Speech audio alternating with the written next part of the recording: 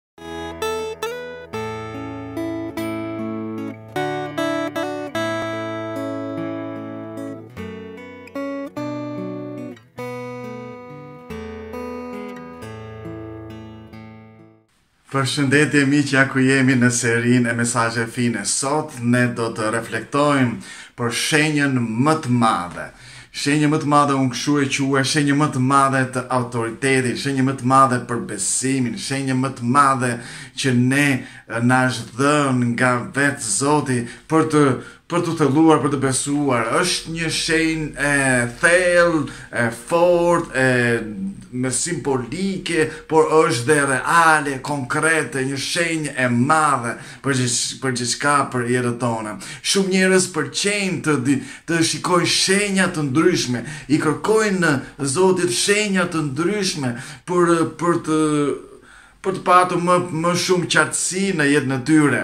Por kjo shenjë është është vërtet e madhe, është vërtet e kushtueshme dhe e çmueshme. Dhe unë përpara se t'ju ftoj që të që të reflektojmë një pasazh në në Bibël, dua që t'ju t'ju ftoj që të në këtë moment të ulim kokat, të bëjmë një lutje, të ftojmë uh, Zotin tonë në mes nesh. Le të lutemi, i dashur Zot, eja pranë nesh teksa të hapim fjalën tënde, ndriçoje mendjen dhe zemrat tona për ta kuptuar atë më mirë. Në emrin tënd, Jezu, ta kërkojmë këtë lutje. Amen. Ok, ne sot do të ndalemi tek një pasazh shumë i bukur te Gjoni kapitulli 2, vargjet 13 deri në në 22. 13 deri në 22. Është një histori shumë interesante dhe tek vargu 18 aty na jepet pyetja që që iu bë Jezusit. Dhe atëherë judenjtë u përgjigjën dhe i thanë shenjë na tregon Se i bën këto gjëra? Çfarë shenje na tregon që i bën këto gjëra? E pyetën Jezusin.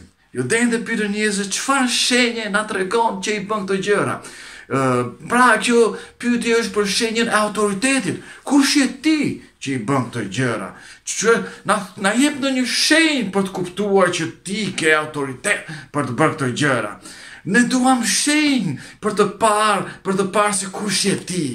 Ne duam shenjë dhe është interesante që që uh, Jezu nuk është se nuk kishte bërë shenja, kishte bërë shenja të ndryshme te kapitulli uh, um, Te kapitulli dy në fillim të saj, pra ai kishte bërë një shenjë, një mrekulli, një një një mrekulli në në në në dasëm, por këtu judenjtë kërkojnë prapë një shenjë, një shenjë tjetër.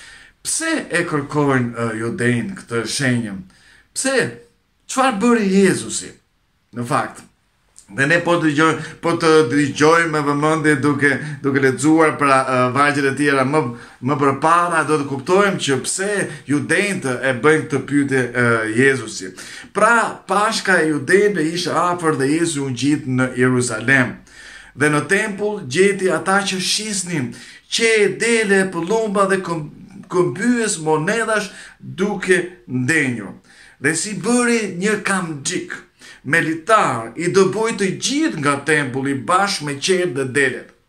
Dhe ua flaku paratë këmbyesve të monedhave dhe ua përmbysi tavolinat. Dhe shitësve të pëllumbave u tha, Hiqini këto gjëra. Hiqni këto gjëra që këtej, mos e bëni shtëpinë e Atit tim shtëpi tregtie. Interesante, ha?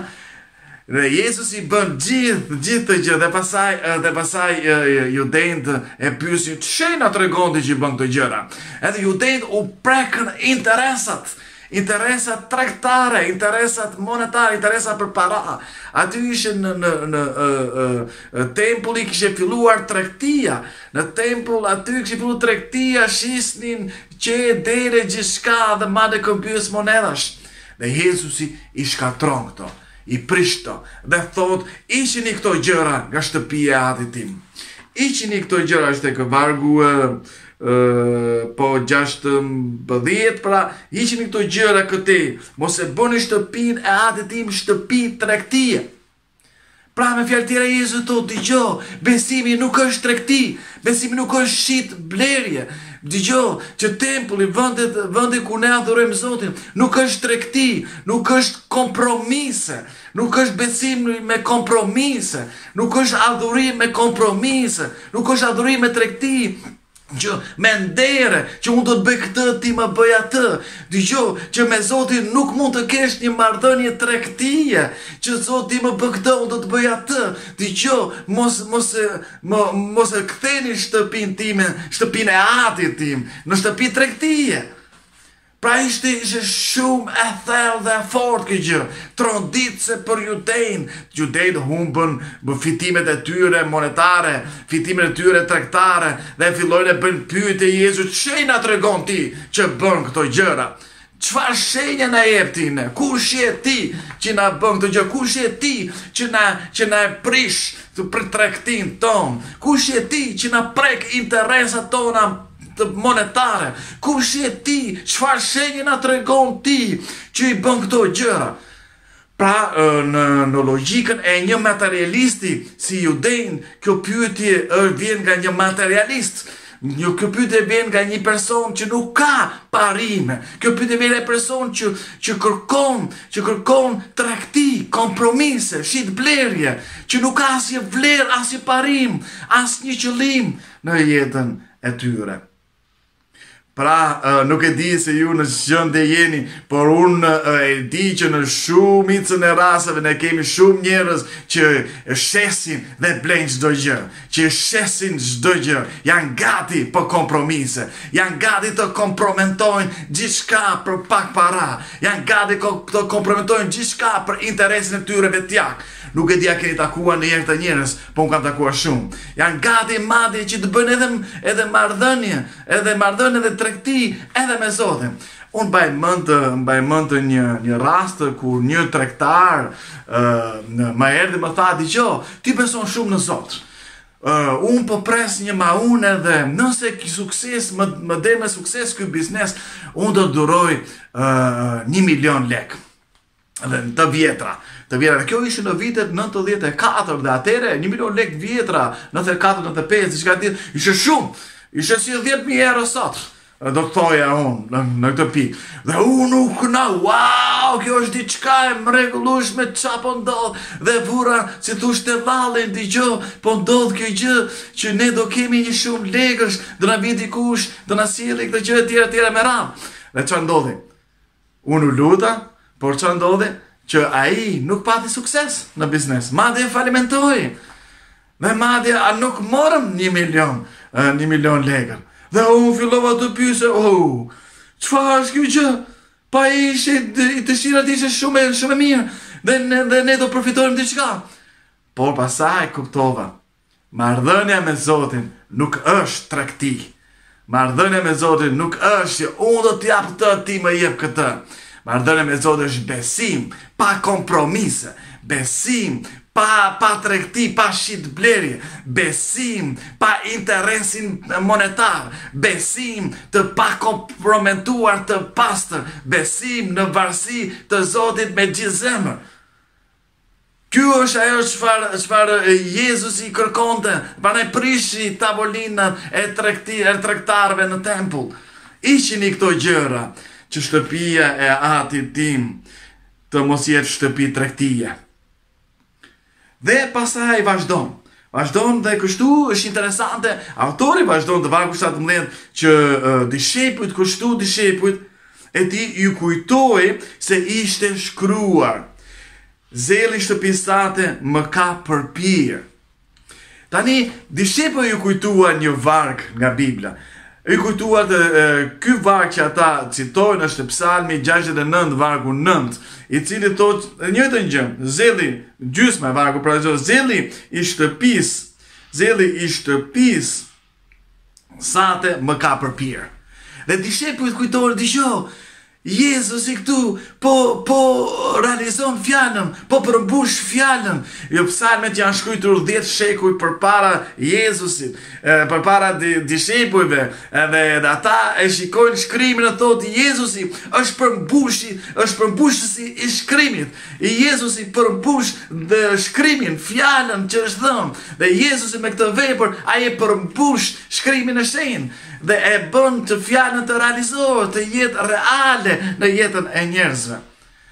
Pra, ne këtu kemi, kemi që dishepujt fillojnë të hapen sytë. Dhe thanë po, Jezusi për, përmbush fjalën. Zelli i shtëpisë sate më ka përpirë. Por vijmë te vargu tetëmbëdhjetë që lexuam atëherë judenjtë iu përgjigjën shenjë na tregon se i bën këto gjëra. Çfarë shenjë na tregon ti në këto gjëra? Dhe tani do vjen në pyetjen se si këtë pyetje të shumtë që ata e bën që ne e kuptojmë që e bën nga nga prekja e interesit të tyre vetjak, nga prekja inter, e, e, e, interesit të tyre monetar, ata e bën një pyetje ç'shenjë na tregon ti që i bën këto gjëra. Kush je ti që na shkatërron tregtinë? Kush je ti që na përmbys tavolinat dhe ne që ne ne humbim paratë tona e gjithçka kush je ti që na i kthen këto ç'shenjë na tregon ti ç'shenjë na tregon ti që i bën këto gjëra dhe Jezusi i përgjigjet dhe thotë shenjën më të madhe për mendimin tim shenjën më të madhe që ai ka dhënë dhe në fakt edhe Bibla thotë që është më e madhe edhe e thotë në mënyra nga më të ndryshme Shenjën më të madhe, le ta lexojmë. Është kemi tek vargu 19 e thotë, Jezusi u përgjigj dhe u tha atyre, shkatërroni këtë tempull dhe unë për 3 ditë do ta ngre përsëri. Shkatërroni këtë tempull dhe unë për 3 ditë do ta ngre përsëri. Çfarë shenjë është kjo? Judenjtë prisnin mrekulli. Ata prisnin që Jezusi të bënte mrekulli. Por Jezusi thotë shkatërroni këtë tempull dhe unë do ta ngrej për 3 ditë përsëri. Dhe Jezusi po i thoshte diçka. Kjo është shenja më e madhe që unë do t'ju jap. Kjo është shenja më e madhe që unë kam dhënë ndonjëherë. Kjo është shenja më e madhe që do kushtojë më shumë se çdo gjë tjetër. Kjo është shenja më e madhe që dhe ju mund po ta pranoni, do të keni një rrugë shpëtimi që është përtej interesit tuaj vetjak, që është përtej kompromiseve të tuaja tregtare, që është përtej kompromiseve të tuaja të vlerave dhe parimeve, që është përtej botëkuptimit dhe kulturës tuaj. Këtë shenjë do t'ju jap shkatërroni këtë tempull dhe unë për tre ditë do ta ngrej. përsëri. Dhe judenjtë i përgjigjen tek tek vargu i 20, e i thanë u deshën 46 vjet që të ndërtohet ky tempull. Dhe ti do ta ngresh për 3 ditë? Judenjtë përsëri bëjnë pyetjen. Bëjnë pyetjen thonë u çorroditëm, nuk e dimë çfarë të kuptojmë, çfarë është kjo shenjë, Ça, po na thua, dyzet e gjashtë vjet u desh të ndërtohet ky tempull dhe ti po na thua do ta ngresh përsëri për tre ditë? Kjo është jashtë botëkuptimit tonë materialist. Kjo është jashtë botëkuptimit tonë me kompromise dhe parime dhe tregtie. Kjo është jashtë jashtë realitetit tonë të shitblerjes. Kjo është jashtë interesit tonë vetjak. Çfarë është kjo? Ne dimë diçka, merr një shumë lekësh, ndërto një tempull dhe duhet kaq vite, 46 vjet dhe nëse prishet do të duhet e njëjta gjë, ndoshta edhe më shumë. Por ti po na thua që do ta bësh për 3 ditë. Çfarë është kjo gjë? Si ka mundësi? Kjo është përrallë, kjo nuk është e vërtetë. Unë Jezu nuk e pranoj këtë shenjë për atë autoritetin tënd që ti na shkatrove biznesin, na shkatrove kompromiset, na shkatrove interesin material, na shkatrove bizneset tona. Nuk mund ta pranoj këtë gjë. Në botëkuptimin tim materialist mendonin judenjtë, mendonin judenjtë, por dishepujve i ishin hapur sytë. Dishepujt e kuptuan, dishepujt shkruan dhe vargu më tej, vargu 21. Por Jezusi, por ai pra, fliste për tempullin e trupit të vet. Por ai fliste për tempullin e trupit të vet. Jezusi po thoshte, Dëgjo, ju do e shkatërroni tempullin. Ju do të bëni që unë do vdes. Do vdes por po unë në ditën e tretë do të ringjallem. Unë jam zëvendësuesi i tempullit tuaj. Në tempull, aty është shtëpia e Atit. Aty në tempull bëhet falja e mëkateve, bëhet sakrificave, sakrifica e qengjeve për faljet e mëkateve. Bëhet gjithçka, unë jam zëvendësuesi i sakrificës. Nuk ka nevojë më të bëhen sakrifica Sepse unë do sakrifikohem për të gjithë mëkatet e njerëzimit. Unë jam qengji që do heqi mëkatet e kësaj bote. Unë do të sakrifikohem do vdes për ju dhe për gjithë botën për të treguar dashurinë të madhe që ka ati, por që ati pret që një besim pa kompromise, Pret një besim të pastër pa interesa vetjake. Pret një besim të pastër pa interesa materiale. Unë po do vdes, po në ditën e tretë do të ringjallem. Sakrifica e Jezus dhe ringjallja e tij është shenja më e madhe që vetë Zoti ka dhënë për gjithë njerëzimin. A nuk është shenja më e madhe? Vërtet, dhe gjithë Biblia flet për këtë gjë. E gjithë Biblia e e tregon këtë gjë me profecira nga më ndryshme, me gjithçka që Jezusi është qengji kurbani për mëkatet e njerëzimit. Ai do bëhet kurban, por jo vetëm kaq. Ditën e tretë, ai do të ringjallet. Do të ngrihet përsëri. Dhe atëherë njerëzit nuk kanë nevojë të shkojnë te tempulli të marrin falje mëkateve. Atëherë njerëzit me besimin e tyre të pastër mund të shkojnë direkt tek Jezusi, të kenë marrëdhënie të pastër e me besim të pastër tek Jezusi, të zhveshur, të zhveshur nga interesat materiale të shkojnë tek Jezusi dhe të besojmë aty pa kompromise tek Jezusi, sepse Ai është ringjallur. Dhe ja, te vargu njëzet e dy, dishepujt e kishin shumë të qartë. Dhe kur më pas, e, e kishin të qartë, po e kishin të qartë jo në atë moment, e kishin të qartë më vonë, kur kjo gjë ndodhi, u qartësuan kur Jezu Krishti vdiq, u qartësuan mbi gjithçka, kur Jezu Krishti u ringjall, dhe iu shfaq atyre, atëherë në atëherë erdhi dritë më shumë në mendjen e tyre. Atëherë dhe Gjoni shkruan, e thotë që kur më pas ai ishte ringjallur prej së vdekuri, dishepujt e vet u kujtuan se ai këtë ua kishte thënë dhe u besuan shkrimit dhe fjalëve që kishte thënë Jezusi. Pra, dishepujt vendosën, po, besimi ynë duhet bazuar te shkrimi dhe fjalët e Jezusit. Besimi ynë, i mani, mani mend, dishepuj, dishepujt thanë, dishepujt thanë që cituar një varg, Psalmi 69, që Jezusi e tha këtë gjë për të përmbushur shkrimin e shenjtë, një varg që ishte shkruar 10 shekuj përpara Jezusit, përpara se të vinin dishepujt. Dhe dishepujt në fund thanë, Kur Jezusi tha këtë gjë, Që shkatërroni këtë tempull dhe unë për tre ditë do ta ngrej përsëri, ai po fliste për trupin e vet. Ai po fliste për sakrificën dhe ringjalljen që ai do të ngrihet përsëri. Po ne e kuptuam këtë gjë pas ringjalljes. Pasi ai u ringjall, ne e kuptuam dhe vendosëm të besonim te shkrimet dhe fjalët e Jezusit. Kjo është shenja më e madhe të dashur miq. Dhe Jezusi këtë dëshiron që ne të besojmë te shkrimi dhe te fjalët e tij, jo te mrekullitë nga më të ndryshme që mund të ndodhin.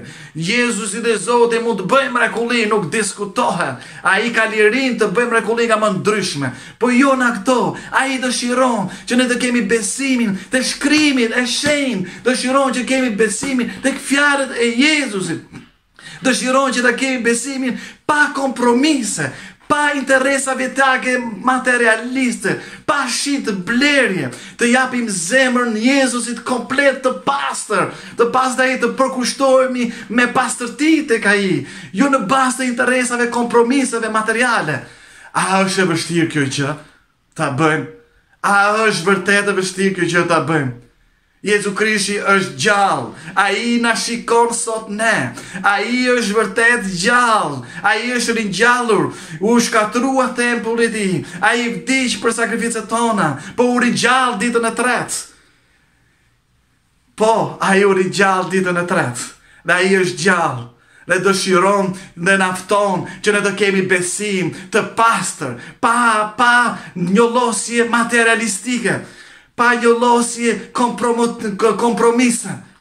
A mundemi ne të besojmë pa kompromise te ky Zot i mrekullueshëm?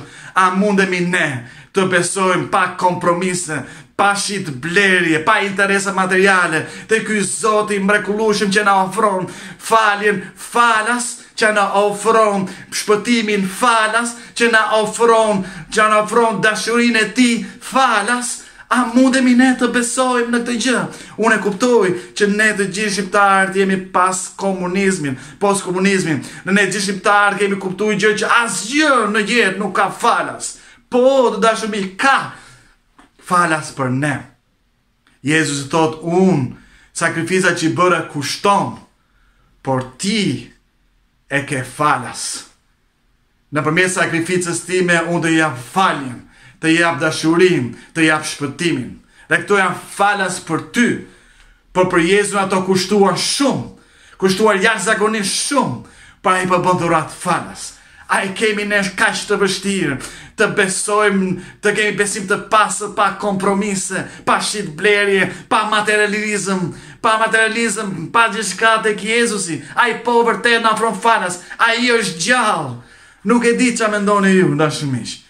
Unë mendoj që po, është e mundur të kemë një besim dhe përkushtim të pastër tek Jezusi, tek besimi tek tek fjala e tij, tek shkrimi, tek shkrimi i shenjtë dhe tek fjalët e tij. Po, është e mundur, është e mundur që ta kemi këtë gjë.